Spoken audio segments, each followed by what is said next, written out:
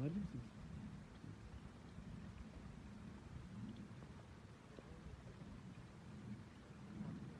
Gerçekten sen önemli. Ben şu gün yanına gidiyorum. Öyle yok da ya, bir tanesi ağır ya. Ambulansa şey ettiler. Ne diyorlar lan? Kasabaya ettiler. Araştırmaya. Doğru direkt gitti. Hacılardan. Durmuş çiçekçinin yeğeni.